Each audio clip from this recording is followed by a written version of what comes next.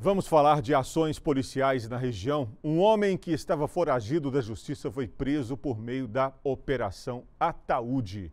Essa prisão foi realizada na área rural de Sarduá. O repórter Sávio Scarabelli está de volta ao vivo com outros detalhes. Sávio.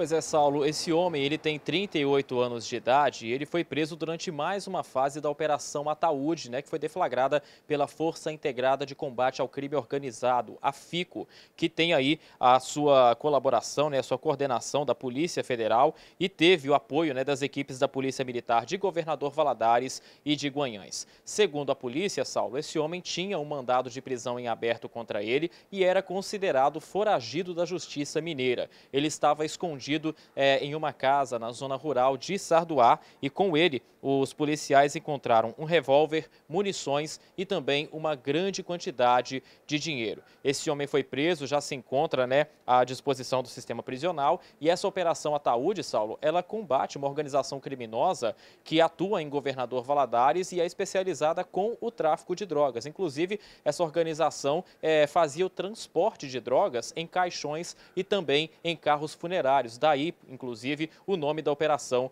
Ataúde. Volto com você.